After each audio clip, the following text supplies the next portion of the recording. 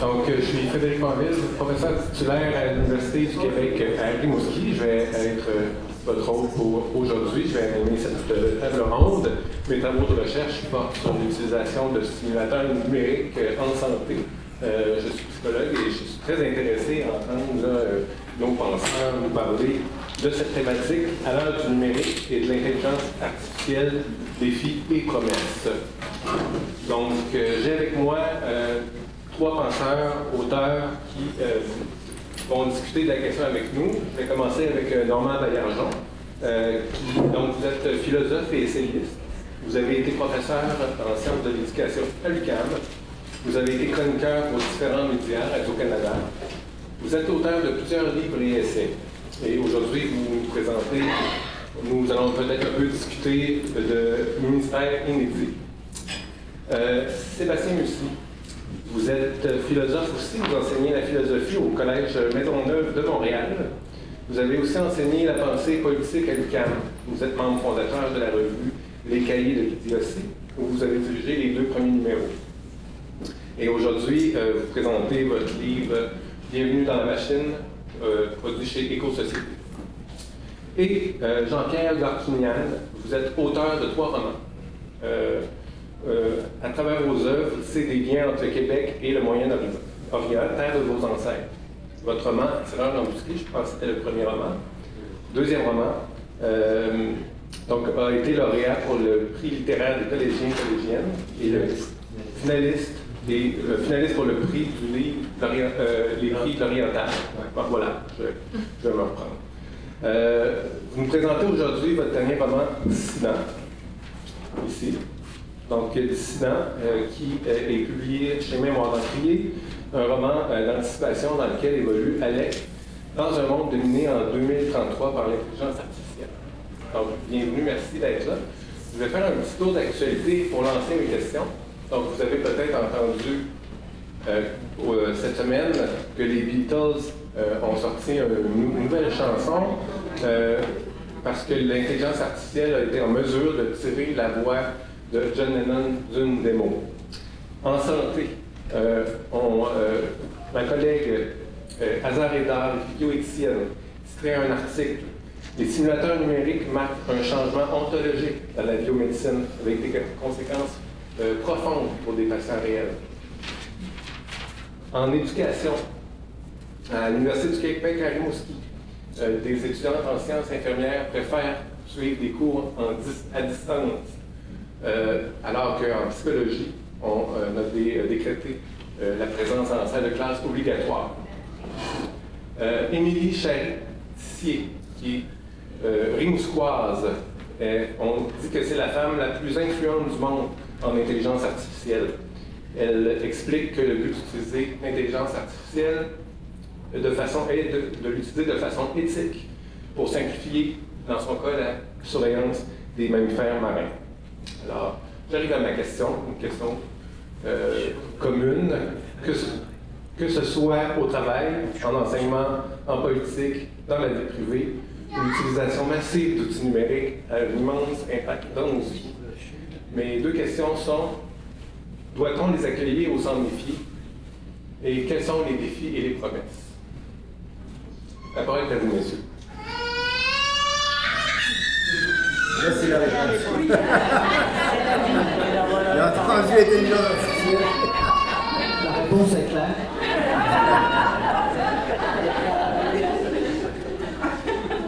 Bon, euh, moi j'ai coécrit un bouquin qui s'appelle Bienvenue dans la machine. Vous comprendrez que Bienvenue est, ironique, une référence aussi à la chanson des Pink Floyd, une vraie chanson des Pink Floyd. Euh, en éducation, ce qui est très clair, c'est qu'il faut absolument barrer la route à tout ça. Il y a une volonté de faire du mur à mur. Depuis longtemps, on a rentré des tableaux électroniques dans les écoles primaires avec le grand succès que l'on sait. On a tenté de rentrer des tablettes absolument partout. C'est des catastrophiques sur le développement de la lecture. Et puis, euh, on documente de façon euh, maintenant récurrente depuis au moins une quinzaine d'années les problèmes de développement émotif, les problèmes de développement d'empathie chez les enfants il faut un moratoire là-dessus absolument, au moins jusqu'à ce qu'on prouve de manière claire et nette qu'il y a des avantages pédagogiques majeurs, documentés, euh, et qu'on n'apprend pas simplement à nos enfants à utiliser les bébelles dont les capitalistes ont besoin pour faire tourner la machine. Très bien. Euh, moi, je, je parlais euh, en tant qu'artiste, euh, parce que contrairement à vous, je ne viens pas du domaine de l'éducation. Dans les arts, comme tu l'as mentionné, c'est vraiment un sujet brûlant d'actualité. Je ne sais pas si vous avez suivi la grève des scénaristes aux États-Unis, une grève qui a duré à peu près cinq mois. On parle d'une grève historique parce que c'était euh, deux syndicats euh, qui se sont euh, réunis. On parle de 160 000 membres, euh, vraiment le, syndicat le, plus puissant du, showbiz euh, américain. Et euh, bon, elle est historique de par sa longueur, de par sa magnitude, mais aussi c'est, considéré comme la première guerre, la première lutte ouvrière opposant des travailleurs, donc les artistes du cinéma, à l'intelligence artificielle. Parce que les scénaristes, les auteurs et les comédiens se sentent menacés par l'IA. Euh, puis on les comprend parce qu'aujourd'hui, euh, vous pouvez donner quelques prompts, c'est-à-dire euh, des commandes à un générateur de texte, puis il peut vous générer un scénario pratiquement pour tournage. Puis les comédiens, ben, on est capable de, de faire la, synthèse de leur image et de leur voix et de la répliquer de façon presque, presque parfaite. Donc on, comprend les, scénaristes et les comédiens d'être menacés. Et euh, je ne cache pas que pour moi, ça a provoqué euh, une, remise en, question euh, de ma pratique en tant qu'auteur, poète et scénariste aussi. Parce que si je peux être remplacé par une machine, ben ça sert à quoi de continuer à, écrire?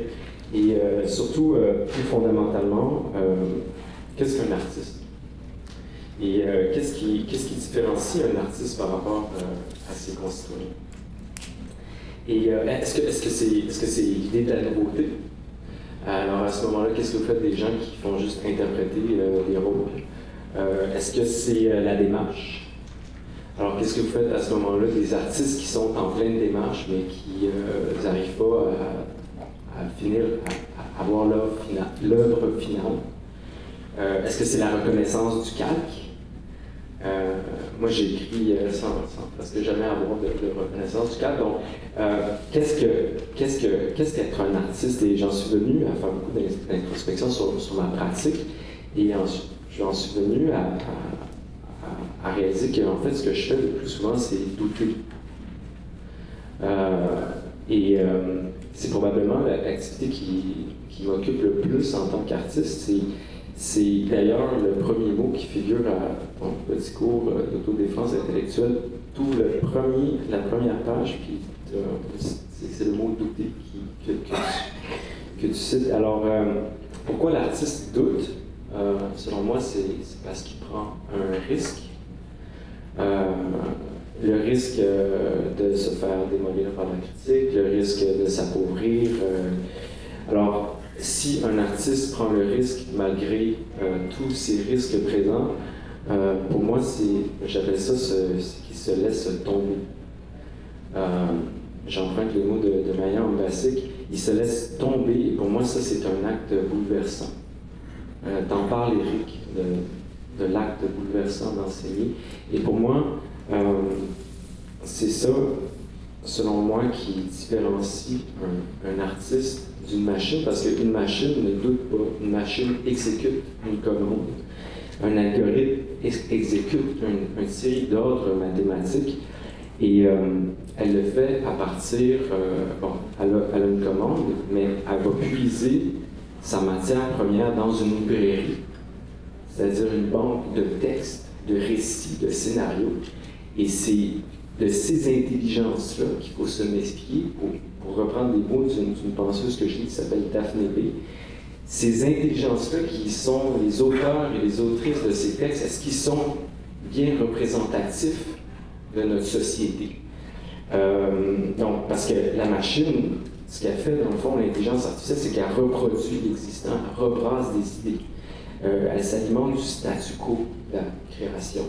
D'où l'importance des artistes de fonder des nouveaux récits. Parce que l'IA regarde vers le passé. D'où l'importance de protéger la propriété intellectuelle aussi. Merci beaucoup, Jean-Pierre. De votre côté, euh, Normand. Ah, il y a, euh, je, vais me permettre de faire un petit survol historique, ça me permet. En tant que philosophe, je trouve ça important de revenir sur des choses qui se sont passées. Euh, puis moi, quand je pense à ces questions-là, je, je reviens toujours au XVIIe siècle, quand un jeune garçon particulièrement brillant invente pour que son père puisse faire plus facilement les calculs une machine à faire des opérations arithmétiques. La machine, vous pouvez la voir dans certains euh, musées encore aujourd'hui, elle s'appelle la Pascaline. C'est Blaise Pascal qui l'a inventée. Et c'est un peu à l'origine de tout ça. Ensuite, passons quelques siècles, puis on arrive à la Deuxième Guerre mondiale. Durant la Deuxième Guerre mondiale, les Allemands utilisent un code secret qui s'appelle Enigma, et ils sont persuadés que personne ne pourra jamais le- le percer, ce secret-là. Un mathématicien de génie qui s'appelle Alan Turing dirige une équipe, et tous ensemble, ils vont percer Enigma. Euh, Alan Turing a sauvé un nombre extraordinaire de vies humaines en mettant fin à la Deuxième Guerre mondiale, en aidant beaucoup à mettre fin à la Deuxième Guerre mondiale grâce à ceci. Ça, c'est l'origine des ordinateurs. Et ces choses-là se développent, même du vivant d'Alan Turing. Je me permets de le dire, s'il y en a qui ne savent pas, hein, il sauve un nombre extraordinaire de vies humaines, Alan Turing. C'est un homosexuel. Après la guerre, il va être condamné pour son homosexualité et il va se suicider en mangeant une pomme empoisonnée, comme dans le film Blanche-Neige qu'il adore. Ce qui est assez terrible. Mais c'est assez terrible de penser que cet homme-là a été condamné à ça. Euh, les ordinateurs se développent petit à petit, et il y a une trentaine d'années, peut-être un peu plus en fait, apparaît Internet. Et là, moi, je suis en éducation, c'est mon, métier, c'est mon domaine, et quand apparaît Internet, il y a des gens dans, les, textes que j'ai à cette époque-là, je les appelle les technophiles. Ils sont absolument convaincus que ça va tout bouleverser, puis tout va s'améliorer, qu'on n'aura plus besoin d'enseigner, qu'on pas, etc. Et dans un texte que j'ai écrit, je me souviens encore, je parle de ces gens-là, les technophiles, et je dis attention, attendons pour voir, je suis d'accord avec Sébastien, attendons pour voir ce qui se passe, attendons les, les résultats, voyons de près les choses. Et ces miracles-là, vous le savez, ne se réaliseront pas véritablement, pour toutes sortes de raisons, on pourra rentrer en, détail là-dedans. Mais aujourd'hui, on sait, euh, si vous lisez par exemple le docteur Desmurger, un français, un médecin français qui a écrit un livre, euh, La fabrique du crétin digital, c'est le titre du livre, et il montre là-dedans comment les médias sociaux, Internet, les réseaux, les écrans sont les causes importantes de l'anxiété chez les jeunes, des difficultés scolaires, la difficulté à se concentrer, de l'anxiété. Un livre qui vient juste d'écrire porte euh, amenez à lire, livres, des livres, des livres, des vrais livres. Et donc, c'est pas facile de prédire ce qui peut arriver avec une technologie comme celle-là. C'est la première chose que je tenais à dire. Soyons prudents, regardons les choses attentivement. Euh, certains d'entre vous s'en rappelleront quand il y a eu la, guerre en Irak, il y a un, un politicien américain qui a fait rire de lui parce qu'il avait dit, à propos de la guerre en Irak, il y a des connus connus, des inconnus connus, des inconnus inconnus. Alors les gens réduits d'avoir dit inconnus connus, mais il avait raison. Il y a des choses qu'on ne sait même pas qu'on ne sait pas. Et sur cette chose-là, voici ce qui se produit aussi, on ne sait pas très bien. Mais il y a déjà des choses qui apparaissent intéressantes, qui méritent d'être soulignées avec cette nouvelle technologie-là. Je développe un peu ce- en quoi ça consiste. Il y en a touché un mot, mon collègue ici. C'est effectivement un modèle d'intelligence artificielle générale. Et son fonctionnement, pour le simplifier beaucoup, c'est d'avoir accès à une quantité absolument phénoménale de données qui ont reconnues. Et en utilisant un modèle par lequel il devine le prochain mot, il est en mesure de générer des textes. Et ces textes-là ressemblent à des productions humaines très souvent et peuvent être intéressants. Est-ce qu'il y a des, in- des intérêts possibles à ça?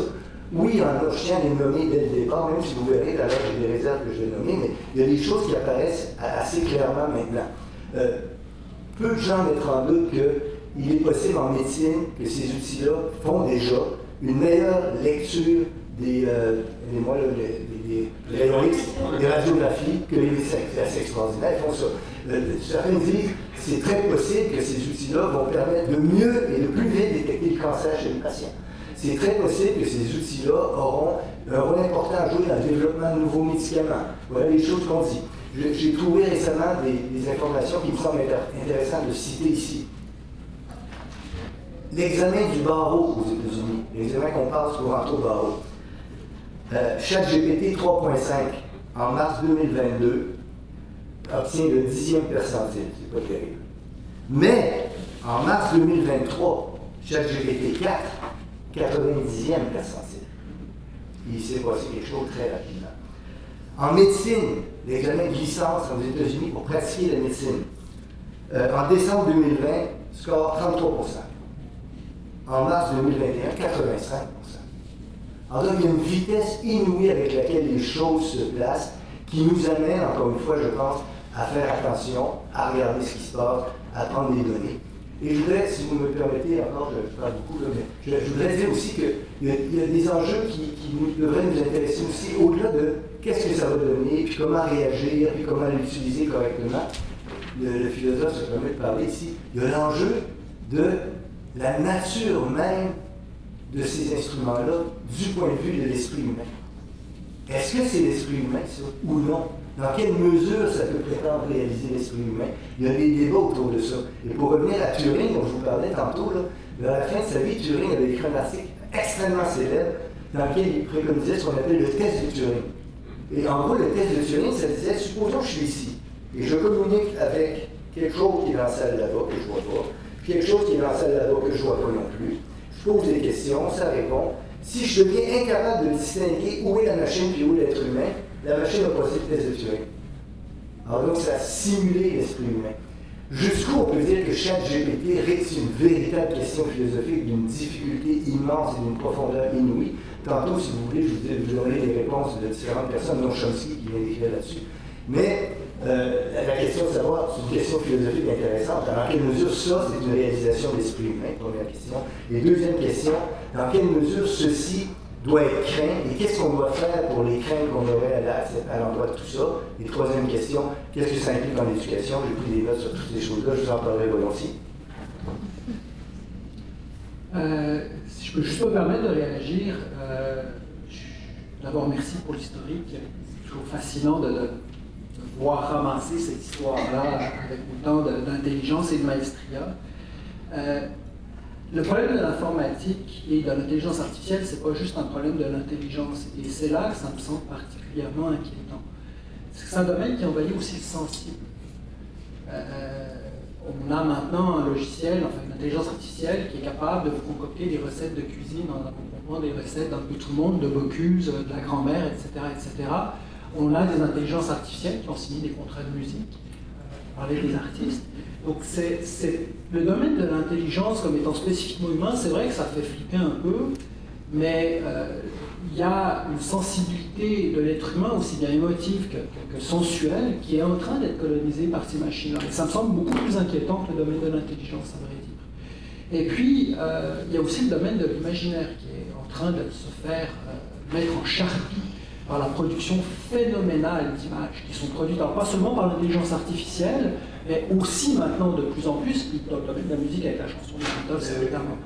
Et, et ça, c'est encore pire, c'est-à-dire que euh, des images qui ont fait en partie notre, mémoire, des émotions qui sont liées à notre enfance, sont en train de se faire remplacer par cette production absolument... Euh, c'est inouï dans l'histoire de l'humanité. On produit des images, c'est des milliards d'images qu'on produit à chaque année et qu'on consomme. Et ça me semble, ça, euh, infiniment, euh, au moins aussi destructeur et inquiétant que la question de l'intelligence. Et puis, ce, que, tu développes ici, c'est, j'ai dit qu'il y a plusieurs points de vue sur ce qui est en train de se passer, mais je me permets de dire ce que tu développes ici, c'est assez proche de ce que Hariri, l'auteur de Sapiens, développe dans ses écrits récemment. Alors, ça, ça, tu, le connais, Hariri dit le drame avec cette intelligence artificielle, c'est que ça s'approprie ce qui fait la spécificité de l'être humain, ça va prendre le contrôle. Et si je peux me permettre, ça, va t'amuser, Sébastien, tu connais Daniel Dennett, le philosophe Daniel Dennett, c'est un philosophe contemporain très sérieux, c'est vraiment quelqu'un d'extrêmement sérieux. Et lui, il a réagi en disant qu'il est très inquiet de l'intelligence artificielle en citant, je vais reprendre les notes que j'ai données ici, dans un de ses articles, il explique que des compagnies comme ChatGPT et tout ce qui est autour d'eux ont ce qu'ils appellent des red teams, c'est-à-dire des équipes rouges ce sont des équipes qui sont chargées de surveiller ce qui se passe avec les, algorithmes qu'ils produisent, et ils s'en vont, ils font des choses. Et Dennett écrit, et ça, je c'est quelqu'un très fier, que des Red Teams dans l'OpenAI OpenAI, ont constaté qu'un programme qu'ils avaient mis sur pied semblait comprendre ce qu'il fait, allé sur Internet et trompé les gens. Et ça, c'est absolument fascinant. Puis je, terminerai sur la question de la, fascination. C'est-à-dire qu'on a un phénomène en ce moment où on demande à l'IA, par exemple, de recréer quel serait l'acteur humain qui pourrait jouer Homer Simpson. Et là, tout le monde, tout le monde ah, c'est extraordinaire, c'est c'est une banalité absolument confondante. Il y a un phénomène de fascination qui est assez inexplicable en ce qui me concerne la dernière, euh, et qui joue un rôle important, qui joue un rôle important parce qu'en arrière de tout ça, il y a des gens qui en profitent. Comme je disais, on ne peut pas prouver moment qu'il y a des bénéfices au point de vue de l'éducation, bah, ça continue quand même à avancer. On ne sait pas si ça marche ou pas, puis on avance quand même. Bah, il y a des gens qui en profitent. Et la question, c'est à qui ça profite euh, et je pense que cette question, alors là on est très très loin, euh, je dois dire, de la question des artistes, des scénarios, mais je pense que c'est lié en réalité. Euh, c'est une question assez fondamentale et, il va bien falloir qu'on le dise à un moment donné clairement. Beaucoup. La question du néolibéralisme économique est souvent abordée dans vos, dans vos réflexions à vous. moi, j'ai une question par rapport à l'humanité, c'est de ça qui est question. Vous écrivez dans votre livre souvent, vous opposez souvent dans votre livre, euh, Sébastien, machine et euh, humain. Euh, Jean-Pierre, on ouvre la, page de, la première page de votre livre, on lit De fait, les humains n'étaient pas inhumains et ne pouvaient le devenir, seuls les humains pouvaient être inhumains. Et tout au long de vos réflexions, que ce soit dans vos livres ou dans la presse, on lit que les écrans, l'informatique, parce que là on parle d'intelligence artificielle, mais il y a aussi tout, toute l'informatique banale, euh, que ça transforme notre cerveau. On pense plus de la même manière, on ne mémorise plus le numéro de téléphone. Euh, euh, le physique, on fait moins d'activité, on a des troubles oculaires, on a des problèmes de sommeil. La psychologique, on a peur de manquer quelque chose sur Facebook, il y a, il y a c'est ça, du stress, de l'anxiété. Est-ce que l'informatique maintenant est en train l'informatique au sens large, euh, le numérique, les écrans euh, et euh, l'intelligence artificielle est en train de nous configurer comme humains? Est-ce qu'on est en train de, de changer biologiquement et épigénétiquement? Ben, je vais prendre ta question parce que c'est aussi une question que, posait Sébastien dans, son livre comment la machine est en train d'alléger nos tâches cognitives et intellectuelles alors qu'au début, euh, la machine euh, devait alléger le, labeur physique. Euh, puis, une, de mes plus grandes craintes que, j'observe, ben, que, j'explore dans le dissident, puis c'est peut-être une crainte irrationnelle, mais on, en parle parce que c'est inconnu, c'est qu'on finisse par, perdre une partie de notre humanité qu'on en vienne euh, carrément à penser comme des machines par rien de logique, ou pire encore que dans tous les domaines de notre vie, on finisse par exécuter des tâches euh, en éducation, en art. Euh, dans mon livre dissident, j'explore comment est-ce que le droit peut en venir, le système judiciaire peut en venir à exécuter des tâches. Euh, voire même que notre jugement moral euh, soit conditionné par ça, par des enchaînements purement logiques et utilitaristes euh, dépourvus d'empathie et d'inclusivité. Et j'ai envie de, faire l'éloge de la littérature présentement parce qu'on est quand même dans, le salon du de, de Rimouski. donc, peut-être juste un mot sur mon livre Dissident, ce qui se, passe, à Montréal en 2033, c'est l'histoire d'un jeune qui s'appelle Adèle, qui est, qui est accusé d'activité terroriste euh, par une intelligence artificielle. Euh, je raconte son crime et euh, son procès, à l'issue duquel il va écoper d'une très lourde peine. Et sans trop rentrer dans, les détails, je pose un personnage surdoué, bourré de talent, mais aux prises avec des ambiguïtés identitaires, versus un développeur d'armes qui se trouve à être un fournisseur du gouvernement canadien. Et euh, l'un finit par euh, séquestrer l'autre et, euh, bon, inutile de vous dire que ça se termine mal, mais dans, dans ce huis clos, j'essaie d'explorer comment le bien et le mal peuvent être des concepts complètement subjectifs et interchangeables, dépendamment de l'angle duquel vous vous situez. Et euh, dans ce récit dissident où la justice est représentée par un logiciel qui s'appelle Magistrac, euh, le module d'assistance judiciaire intégré au système des tribunaux automatisés du Québec. Euh, j'essaie euh, d'opposer la démesure et l'irrationnel d'un personnage à la brutalité de la rationalité juridique. Euh, Dostoevsky le, le fait. Et est-ce que, est-ce que Adèle est coupable et mérite son sort? Euh, vous savez, euh, c'est pas à moi de trancher.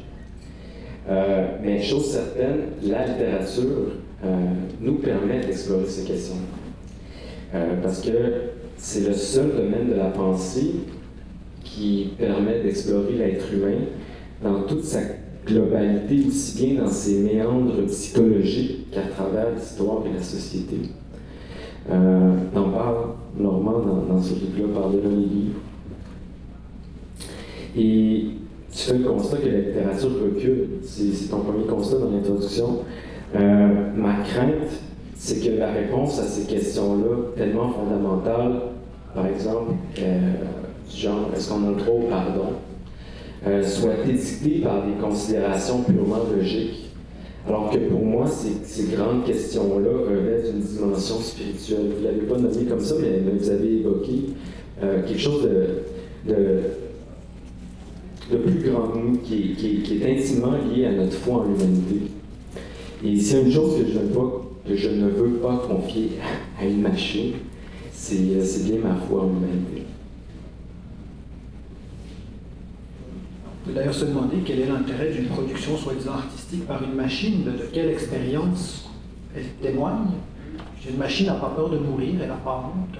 Euh, quand, bien même elle, fonctionnerait comme on fantasme qu'elle fonctionne, euh, il y, a- quelque chose d'extraordinaire. Le, mot machine à l'origine, hein, c'est un terme de théâtre qui, décrit l'illusion que peut créer des mécanismes sur les changements de décor, etc.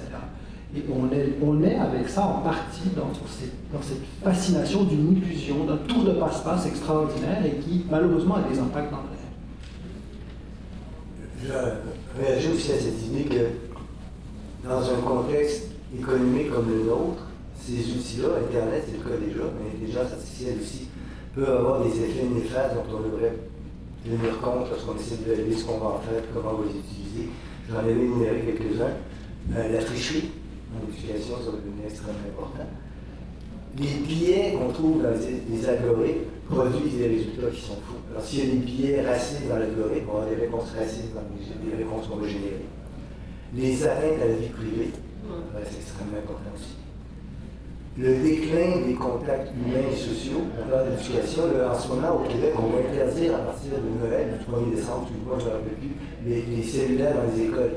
Mais les écoles que je connais dans d'autres pays, on a fait ça. Les professeurs ont des remarques du genre c'est étrange, hein, maintenant dans la cour d'école, les élèves jouent ensemble et se parlent plutôt que d'être chacun sur leur téléphone, etc. Au Québec, malheureusement, seulement dans les salles de classe. Seulement les salles de classe, d'accord.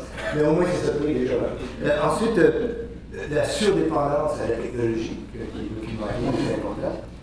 Les inégalités entre les individus selon les moyens dont ils disposent pour accéder à ces technologies-là, ça c'est un facteur aussi important qui, est donné par le type d'économie. Et une chose qui, moi, m'apparaît d'une grande, grande importance, et pas, je pense assez souvent, vous, vous l'avez fait, mais il faut rappeler ça, c'est que les entités dont on parle, un peu abstraitement, Internet, la femme, etc., ce sont de surpuissance économique, plus puissantes que bien des États. Alors ces, ces entités-là jouent un rôle extrêmement important pour façonner un grand nombre de choses. Ce matin, dans, dans- ce matin dans le devoir, je pense, on parlait de Spotify et de ce qu'on peut écouter en musique. Alors comme les algorithmes de Spotify considèrent le Canada dans son ensemble et non pas le Québec, ce qu'ils proposent aux gens, ce sont des, des- des chansons en anglais, des choses en anglais, et la chanson française du Québec, qu'ils n'avaient jamais écoutée. Voilà un, un- un exemple de l'impact que ces surpuissances économiques peuvent avoir sur la culture et ainsi de suite. On revient J'aimerais savoir, puis on a vu là, dans Radio-Canada, d'autres médias, l'idée du moratoire. C'est important peut-être de stopper le développement de l'intelligence euh, euh, de l'IA. Donc, est-ce que, qu'est-ce que vous pensez, vous, vous trois, de l'idée d'un de ce moratoire? Est-il nécessaire? Et quels sont les risques qui ne se tiennent pas? Euh, Les risques qui ne se tiennent pas, elles sont euh, de 100%. Il n'y aura pas de moratoire. Euh, je m'excuse de le dire, mais il n'y en aura pas. Euh, il y en aura dans certains secteurs peut-être, on va avoir l'intelligence de ne pas imposer ça aux primaires et aux secondaires en ce qui concerne l'éducation. Pour le cégep et l'université, c'est déjà, euh, à mon avis, perdu. Euh, le seul moyen, me semble-t-il, qu'il y a pour faire quelque chose contre ça, c'est qu'il y ait des mobilisations citoyennes, localement, mais aussi à une plus grande échelle de manière à ce qu'il y ait des gens qui commencent par refuser. Euh, en éducation, dans, les cégeps, dans les écoles, s'il y a sur 600 profs, il y en a 450 qui refusent d'utiliser l'informatique, ça va avoir un impact. Euh, la FNEC a rendu un avis euh, solidement documenté, très audacieux, très courageux, où d'ailleurs il mentionne que les GAFAM c'est la quatrième puissance économique mondiale, la quatrième, c'est monstrueux. mais c'est vrai que pour ma part, je vous avoue que je suis extrêmement pessimiste. Euh, y a, ça fait deux ans qu'on est sorti des, confinements de l'enseignement en ligne. Euh, les inscriptions cours au cégep sont passées de 9 000 à 265 000. L'Université Laval est en train de devenir une université virtuelle. Euh, l'Université du Québec en Abitibi-Témiscamingue, c'est pratiquement fait. Les chargés de cours crient au secours là-bas. Je vais, aller les voir dans deux semaines pour essayer de, voir ce qu'on peut faire. c'est sincèrement, oui, je veux sonner alarmiste, c'est dramatique, on est en train de mettre l'éducation à sac, je vais me permettre de nous paraphraser dans notre bouquin, les gens qui pilotent ça, euh, ils coupent les forêts, ils sont en train de raser la nature, de détruire les écosystèmes, ben là ils passent à la culture. Ils sont en train de tout démolir et si on les laisse aller, ça va arriver. Alors il y a toujours de la vie, il y aura toujours quelque chose qu'on va appeler l'être humain, mais à quel prix? Moi j'ai un enfant de 14 ans, ça va être quoi sa vie? Et je trouve ça absolument inadmissible. Alors le moratoire, c'était joli, la Benjo et compagnie, c'est de la rigolade. Ils mettent des balises éthiques pour qu'on continue la recherche et qu'on la développe le plus possible. On est dans un monde capitaliste, ça va se développer selon un mode capitaliste.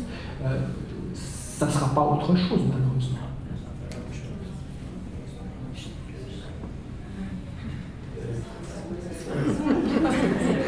je, je, fais partie de ceux qui pensent qu'il y a des bienfaits possibles à atteindre de ces choses-là. Ils sont indéniable, je pense. Je vais vous donner quelques exemples. En éducation, un rapport sérieux qui vient d'être remis aux États-Unis sur les bienfaits de l'intelligence artificielle en éducation, au secondaire, au primaire, au secondaire, au cégep. Euh, on pourrait s'en servir pour faire du tutorat auprès de certains élèves.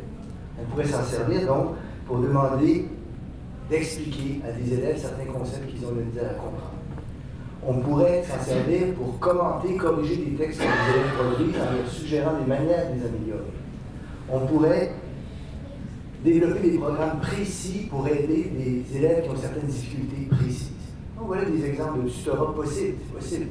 Ensuite, assister les enseignants les professeurs en faisant des tâches qui sont plutôt améliorantes pour les enseignants, qui les libèrent pour passer plus de temps que les élèves. Voici ce qu'il donne comme exemple. Faire le plan d'une leçon, créer du matériel pour un cours, euh, créer des quiz, des questionnaires pour les élèves, euh, donner des idées pour expliquer à des élèves qui ont des difficultés des concepts qu'ils ont de misère à comprendre. Aider les parents, leur permettre de rédiger des demandes administratives aux enseignants, des demandes à l'administration ou aux enseignants. Demander à l'intelligence artificielle d'inventer des histoires conformément à ce qu'aime l'enfant pour qu'on puisse lui lire le soir et l'aider à prendre la lire faire des choix d'école, de programmes particuliers pour l'enfant et puis donner dont on dispose. Ça peut servir à ça. Euh, aider l'administration, écrire des lettres, des documents destinés aux parents. Planifier des choses comme des horaires pour les autobus ou ainsi. Euh, préparer différentes mesures destinées à améliorer le climat, puis ce qui fait défaut dans le climat de l'école, qu'on pourrait améliorer grâce à ça. Donc, il y a des exemples, et ces gens-là proposent tout ça en disant bien, il y a des dangers, faites attention, il y a des risques, il faut faire attention à telle ou telle chose, mais ces, ces bénéfices-là sont réels. Je, je, donne un exemple, si vous permettez, qui me touche moi. Quand, moi j'étais étudiant au doctorat à l'Université de Montréal, je consultais pour avoir accès à des articles, ce qu'on appelait des index. Certains d'entre vous ont peut-être connu ça, c'était des gros livres comme ça, des comme ça. Et index en philosophie, ou en éducation, ou en maths. Et, là, ça nous disait en, 60, en 82, il s'est publié, parlons d'auteur par sujet, fouiller ça, ça prenait beaucoup de temps pour retrouver ça. Quand on avait trouvé un article qu'on voulait, on espérait que l'article soit à la bibliothèque de l'université. Si elle était youpi, on peut faire une photocopie une emprunter. Si elle n'y était pas, moi je partais, j'allais à l'université McGill, où il y avait beaucoup de choses là-bas, puis j'espérais qu'il soit là. Si je ne le trouvais pas, je retournais voir le bibliothécaire à l'Université de Montréal, qui me disait Ah, ben ils l'ont en Californie, je vais les contacter, je vais le recevoir d'ici une semaine.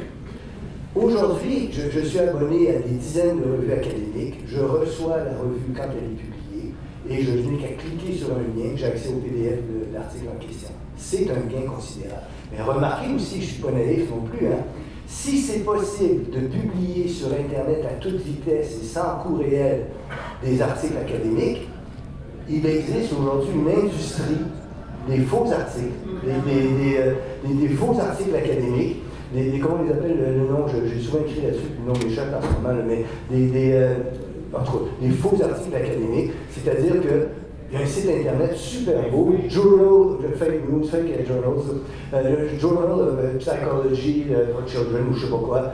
Tu envoies ton article là. Moi, j'ai quelqu'un dans le milieu sceptique, il y a deux ans, il a fait l'exercice, il a envoyé une revue d'astronomie, un article, je le cite là-dedans, un article d'astronomie.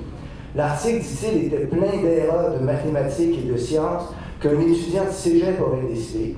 Mais la revue l'a accepté contre paiement, 200 dollars, le publié immédiatement. Alors, voyez-vous, il y a des avantages, mais il y a aussi des inconvénients. Et il faut faire très attention quand on, examine ces questions-là, de ne pas trancher trop rapidement. Ben, ben, juste rapidement, tu, parlais d'un moratoire, est-ce que c'est nécessaire? Euh, puis, comme Sébastien, je pense qu'il n'y aura pas de moratoire. Mais je pense que la meilleure manière en tant qu'humanité de, faire front commun à, ça, c'est euh, d'investir en éducation.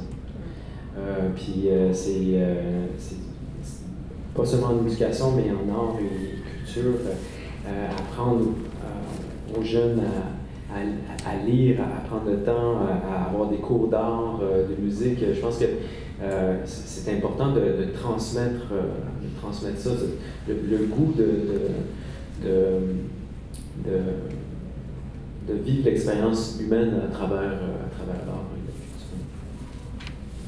Merci beaucoup. J'aurais une dernière question avant de donner la parole au public. Euh, donc, euh, peut-être se donner une dizaine de minutes, après on laisserait une 10-15 minutes au public. Bon, ma question, c'est la question qui tue. Dans le devoir, vous avez écrit Normand Baillargeon de l'école et des écrans dans lequel vous dites qu'il euh, faudrait réfléchir à être un citoyen éthique à l'ère du numérique. Et vous vous êtes fait un peu apostropher dans un blog par euh, Marie-Christine euh, Gauthier qui titre Pour en finir avec la technophobie. Puis en lisant les questions qu'elle vous pose à travers ça, ben, la question qui tue serait, c'est ma dernière, on, se quitterait là-dessus, êtes-vous technophobe ou vous faites-vous taxer d'être technophobe? je, pense que j'ai répondu à ces questions-là quand, je me suis exprimé. Hein. Je, reconnais qu'il y a des avantages possibles et indéniables, on en voit, toute cette technologie-là. Je suis pleinement conscient qu'il y a des dangers aussi et que ces dangers-là sont multipliés par la force des entités en présence, par la force de ces organismes-là, par la puissance qu'elles ont. Et donc, je pense qu'il faut faire preuve de, prudence devant ces questions-là. Il faut, faut faire preuve de prudence. On est capable de le faire. donc, sur cette question-là, pratico-pratique, c'est ma position. J'essaie de ne pas être technophile, j'essaie de ne pas être technophobe. C'est ce que je défendais il y a 30 ans à propos d'Internet. Méfiez-vous des gens qui disent tout va aller mal, méfiez-vous des gens qui disent c'est le paradis. Euh, prenons le temps de regarder. Et encore une fois, il y a des choses qu'on n'avait pas prévues. Hein, je suis, vous voyez avec Internet, il y a, des choses que, les, gens qui pensaient cette question-là il y a 30 ans n'avaient pas prévu, n'avaient pas prévu l'ampleur de l'influence que ça aurait, n'auraient pas prévu qu'à l'école, ça pouvait causer des dommages aussi grands. Donc soyons prudents, puis attendons les faits, voyons ce qui se passe, faisons attention. Euh, donc ni technophile, ni technophobe. Euh, ben, conscient qu'on devrait être collectivement actif là-dessus, que l'éducation joue un rôle majeur pour ce faire. Et j'insiste aussi là-dessus, pour moi, il y a aussi, ça m'intéresse autant, toute la question de savoir dans, quelle mesure ça, ça représente l'esprit humain. Est-ce qu'on est en train de reproduire l'esprit humain ou non? C'est une question euh, philosophique de grand intérêt à mon sens. Alors évidemment, l'accusation de technophobe, dès qu'on critique un tout petit peu la technologie, euh, elle est vieille comme l'industrialisation. Euh, je raconter brièvement, euh, au début du 19e siècle, il y a des gens qu'on appelait les ludites, que Normand connaît très très bien, qui cassaient les machines. C'est des gens, ils voyaient les métiers qui arriver, ils se faisaient déposséder de leur travail, ils ont cassé des machines. Et ces gens-là, on en a fait dans le langage courant ou à peu près courant, titre est devenu synonyme de technophobe. Ces gens-là avaient raison, on a détruit leur mode de vie, ils ont perdu tout pouvoir sur leur profession, c'est devenu des salariés qui vivaient dans la misère. Et c'est quand même incroyable, c'est que l'Angleterre a émis une loi qui disait si tu casses des machines, on va te mettre à mort. Euh, aujourd'hui, les McKenna de ce monde, jeune homme, chroniqueur de la commune de voir, ben, la seule réponse qu'il a nous opposer, euh, que ce soit Eric et, à moi ou un livre récent de Folco Martino, Le capital algorithmique, c'est vous êtes des technophobes. Quand on évoque les risques, tout ce qu'on nous dit, c'est vous êtes des technophobes, vous êtes contre le progrès, mais j'ai pas entendu un seul argument qui me démontre hors de tout doute que ce qu'on fait, c'est pour le bien des élèves, que les tableaux blancs dans les écoles, ça a aidé, sauf dans des cas très spécifiques où effectivement il y a de l'aide. Mais là, on parle d'une implantation mur à mur. Euh, J'aimerais quand même juste répondre à une chose. Si réellement on veut le bien des étudiants et des élèves avec tout ça, on apprendrait les bases de c'est quoi un ordinateur et c'est quoi l'informatique à l'école. Ce qu'on veut, c'est dans les écoles pour les élites, là, qui déjà d'ailleurs, où eux autres, ils vont apprendre des vraies affaires. D'ailleurs, les écoles élitistes, ils n'ont pas laissé tomber la littérature et tout ça. Mais ce qu'on veut, c'est qu'ils apprennent à appuyer sur les pitons et à réagir à des réflexes pour faire fonctionner des machines. C'est tout ce qu'on veut actuellement. Je il faudrait ce qu'on appelle maladroitement une littératie informatique, mais on ne veut pas les mettre dans les écoles. Et je pense que c'est une volonté clairement dirigée. Le Québec veut devenir la Silicon Valley du Nord. Sébastien, tu sais sans doute hein, que j'ai moi-même préconisé ça. Dans, dans un cours d'éducation à la citoyenneté que je préconise depuis des années, je, pense que l'enseignement de l'éthique numérique devrait faire partie de ces choses-là, que les jeunes à l'école apprennent qu'est-ce que c'est ces machines-là, d'où ça vient, comment ça fonctionne, qu'est-ce que c'est qu'un algorithme, quels sont les biais cognitifs, comment ça peut jouer dans notre esprit, comment ça peut créer des bulles dans lesquelles on s'enferme. Donc tout ça est vrai. Et j'insiste aussi pour dire, tu vas être d'accord avec ça aussi, je pense, avec Sébastien, c'est que on doit regarder attentivement ce que ça fait et lorsque c'est utile ou nécessaire ou pertinent de l'utiliser, on doit le faire. Par exemple, sur la question du recours à l'enseignement en, ligne. Bon, la recherche a été faite maintenant. Il y a des gens qui ont pensé que ce serait le paradis, tout va bien aller. La recherche crédible montre aujourd'hui que c'est moins bon que l'enseignement en présentiel. Ça, c'est la recherche crédible qui montre et c'est solide.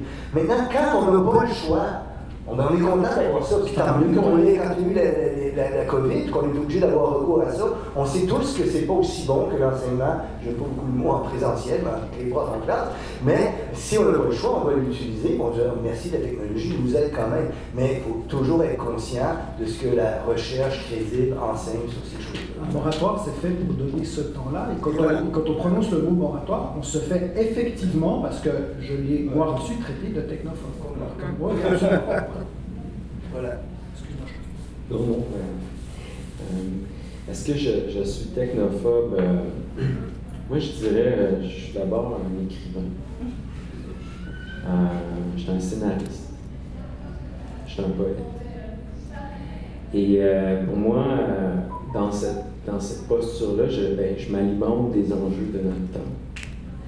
Puis pour moi, je, je, je brasse ça je rentre ça dans, dans, dans, mon, euh, dans ma tête, qui est mon, outil créatif. Et en fait, ce qui m'a inspiré Dissident, c'était en 2015, quand des jeunes Québécois qui sont partis euh, faire le djihad en Syrie.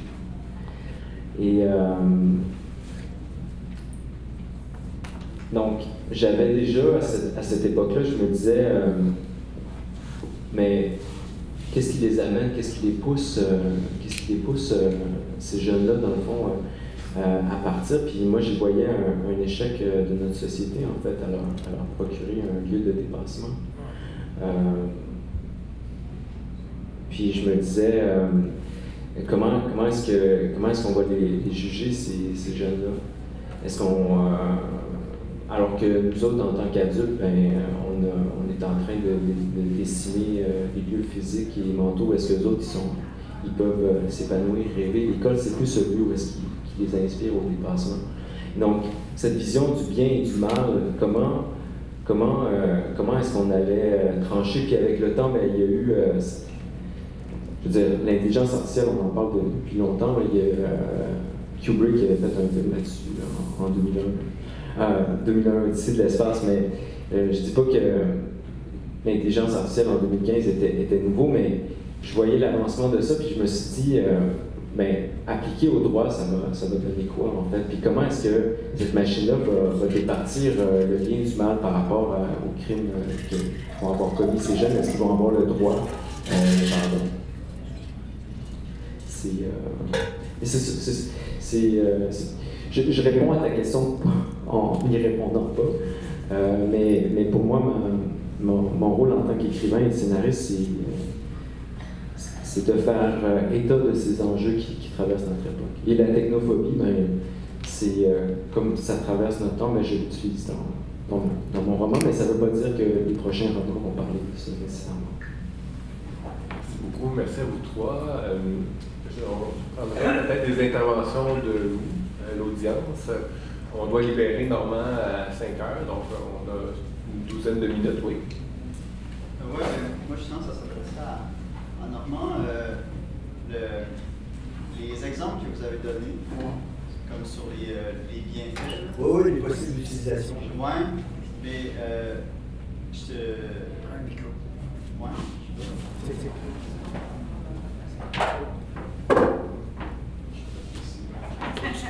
Euh, en fait, oui, ma question c'était euh, euh, les bienfaits, les, les utilisations possibles de, l'intelligence artificielle que vous avez vu dans le rapport. ne seraient-elles pas juste des, des, de ben justement du néolibéralisme? Puis, tu sais, mettons, mettons enlever, enlever des tâches aux enseignants, aux enseignantes, parce que là, on est trop dans un modèle effréné, puis eux, ils n'ont pas assez de temps pour passer avec les, étudiants et les étudiantes. En tout cas, tous les exemples que vous avez donnés me semblent être comme juste des espèces d'effets euh, pragmatiques. En fait, c'est un bienfait à cause qu'on en a fait un problème maintenant. Comme ce que je veux dire, c'est que les, mettons, les enseignants et les enseignantes, ils n'ont pas assez de temps avec leurs étudiants, ben, c'est peut-être parce qu'ils manquent de profs ou ben, tu sais, des. Je que ça serait possible que ce soit une partie de l'explication, mais l'argument reste valable. Ce qu'on voit, c'est si tu as un outil qui te permet. Parce que si tu es enseignant, on va enseigner toute ma vie, tu es obligé de préparer un cours, tu es obligé de répondre à des questions, tu es obligé de préparer les quiz, tu es obligé de faire. Bon, si tu as un outil qui te permet de faire ça plus rapidement, mais tu as plus de temps à passer avec les élèves, euh, il, se peut que le, système dans lequel on fonctionne ne libère pas suffisamment, mais ces avantages-là restent potentiellement intéressants. Euh, encore une fois, c'est euh, plusieurs centaines de gens en éducation qui peuvent interroger et contribuer à que ça, ça serait utile. Oui. Une question. Oui.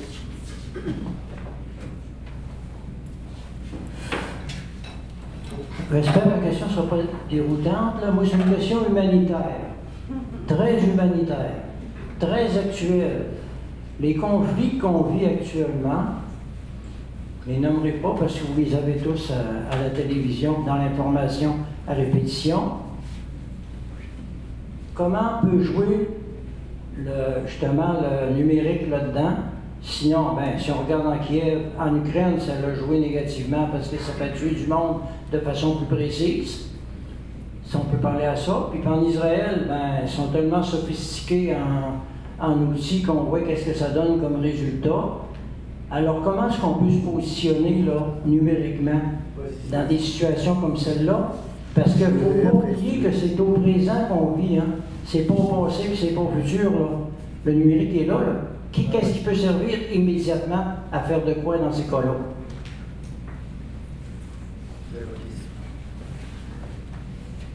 Euh, je vais peut-être raconter une petite histoire qu'on raconte dans le bouquin qui peut répondre en partie à votre question. Euh, pendant la guerre de Corée, à la fin de la guerre de Corée, aux États-Unis, on se demandait beaucoup s'il faut continuer la guerre ou pas, parce que c'est profitable notamment pour l'économie américaine. On a rassemblé les data, on a garoché ça dans les ordinateurs de l'époque, qui étaient probablement occupés des pièces semblables à celle-ci. Et euh, l'ordinateur a dit bah non, il faut arrêter la guerre parce que c'est pas bon. Évidemment qu'il y avait des hommes politiques qui prenaient encore la décision finale, mais il reste que c'est un ordinateur qui a décidé d'arrêter la guerre de Corée. Et euh, la suite de l'histoire, c'est Gunther Enders qui la raconte, assez cute, puisque le général, je pensais MacArthur, euh, a pété une coche, il s'est fait dépasser par une machine, il est devenu directeur dans une entreprise de machines à le grand danger là-dedans, c'est pas tellement plus précis, plus de monde, moins de monde, etc. Là aussi, un fantasme de, la technologie. C'est vrai qu'on tue plus vite et mieux que jamais, évidemment. Mais la question, c'est qui décide qui on tue? Et, là, dès l'origine, dès la bombe nucléaire, en fait, il y a eu une, cybernétisation de la décision. On est en train de déposer notre jugement dans des machines. notre jugement au sens large, hein, pas de dire c'est bien, c'est mal. De dire voici ce qui est, voici ce qui n'est pas, voici ce qui est bien et ce qui est mal. On retombe sur cette question-là, qui est digne de pardon, qui n'est pas. Et les enjeux, pour moi, ils sont, là. La guerre, après, elle accélère. Paul Virilio le disait déjà, l'histoire de la modernité occidentale, c'est l'histoire d'une accélération de la vitesse constante, et c'est dans les armes que ça se voit d'abord, et on continue à vivre aujourd'hui. Juste une chose qui me préoccupe beaucoup, moi, sur cette question-là, c'est l'immense pouvoir de propagande, de mensonge dont disposent ces outils-là. Vous vous souvenez, tantôt, je parlais de Daniel Dennett, c'est vraiment un immense philosophe, c'est pas quelqu'un qui raconte des conneries. quand il parlait de la Red Team qui avait trouvé qu'un algorithme s'était échappé d'une certaine manière, il était allé sur Internet, trompait les gens. Donc, imaginez ce que ça signifie hein, pour, euh, pour la, vérité, pour les prises de décision collectives, pour, l'humanisme que vous avez avec raison évoqué.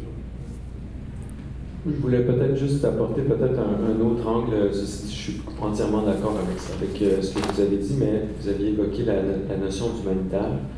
Euh, ben, je sais qu'en ce moment, euh, il, y a, des enjeux vraiment très, très compliqués là, pour donner accès à des humanitaires sur des terrains, sur les zones de conflit. Donc, il y a des humanitaires qui, laissent leur vie, puis c'est un des problèmes de la Croix-Rouge d'ailleurs, de, recruter ces, ces, humanitaires qui sont, essentiels pour, euh, pour distribuer les vivres, l'eau, etc. Et euh, bon, peut-être pour, contrebalancer ce que, vous dites, mais l'intelligence artificielle, puis le, pilotage automatique, puis euh, la, navigation automatique peut, peut, peut, permettre aussi d'acheminer des vivres sans nécessairement sacrifier d'autres vies humaines. Ceci dit, la guerre, ben, l'humanitaire est on en a besoin parce qu'il y, a de la guerre. La guerre, euh, euh, bon, je, euh, c'est pas pour, enlever rien à, ce que vous disiez, c'était juste pour amener un autre, peut-être un, un, pendant plus, plus pratico-pratique pour, pour, répondre à cette question. Moi, je vais être obligé de quitter dans deux minutes. Puis, je n'ai pas eu le temps de revenir sur l'esprit humain, l'intelligence artificielle. Alors, il y a un débat philosophique immense à qu'est-ce qui fait la nature de l'esprit humain, et ça, est-ce que ça s'en approche? Puis euh, l'argument de Chomsky, je pense que ça vous, a, de l'entendre, ça va vous amuser de l'entendre. Compte tenu de son mode de fonctionnement, l'intelligence artificielle a accès à des données et est en mesure de décrire et de prédire. Compte tenu de ce à quoi elle a accès, elle pourra dire si vous avez une pierre dans la main, vous ouvrez la main, je constate que la pierre tombe, je l'écris.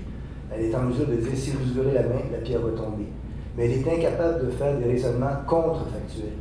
S'il n'y avait pas de gravité, elle ne tomberait pas. Si Pierre n'aimait pas les, pirates, il ne serait pas à tel endroit-ci. Et cette capacité d'avoir des raisonnements par hypothèse, en imaginant des hypothèses, qui fait le propre de la science et de l'esprit humain, chaque GPT ne l'a pas encore. Merci beaucoup.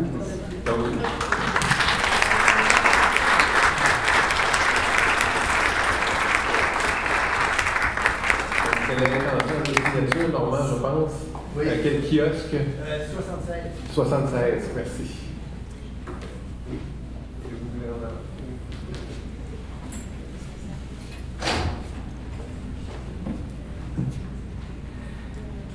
Moi, ce que je ne comprends pas dans le débat, si on peut appeler ça un vrai débat, c'est euh, ce train qu'on parlait tout à l'heure. Euh, est-ce qu'il est possible de dire dans ce moratoire on l'arrête complètement. Pourquoi cette question de arrêter ce train n'est même pas vraiment mise en, avant en fait? Deuxième point, c'est aussi c'est que, en fait, avec l'intelligence artificielle, on va régler des problèmes occidentaux. En fait, en, résumé, c'est pas mal ça. C'est pour les blancs riches. Euh, alors qu'on va dévaster et qu'on dévaste déjà avec le numérique le sud global et même le, nord. Pourquoi c'est pas si mis en avant en fait? C'est comme si euh, euh, dans, le nuagique, le cloud.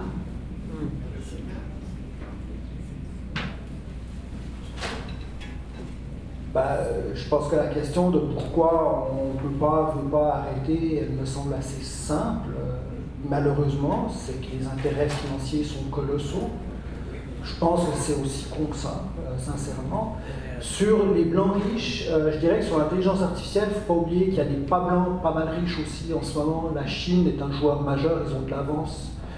Euh, le clivage blanc-pas blanc, en l'occurrence, il n'est pas opératoire du tout.